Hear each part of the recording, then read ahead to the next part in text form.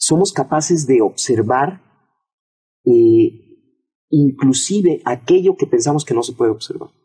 Por ejemplo, en principio pensamos que no podemos observar nuestra actividad cerebral y sin embargo hay una técnica budista, el vipassana, que enseña a una persona que la practica a observar su propia actividad cerebral. Y esta es una experiencia, sobre todo para un neurofisiólogo, extraordinaria. El ser, el darse cuenta de que tiene un mecanismo de observación que le permite, por ejemplo, ver su propio cerebro. No solamente su propio cerebro, su actividad glandular, que le permite sentir su cuerpo eh, parte por parte hasta lograr tener una imagen corporal unificada.